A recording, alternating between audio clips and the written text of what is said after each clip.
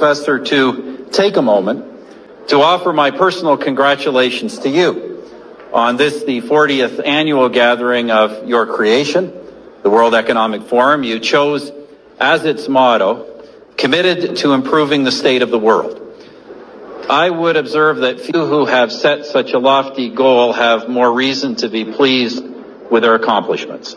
To have conceived of the need for such an institution as this required insight, to have established it took commitment, but to have then nurtured it as a podium from which business and political leaders could nudge public policy by addressing their peers from around the world, that is a formidable achievement. And Professor, this gathering salutes you.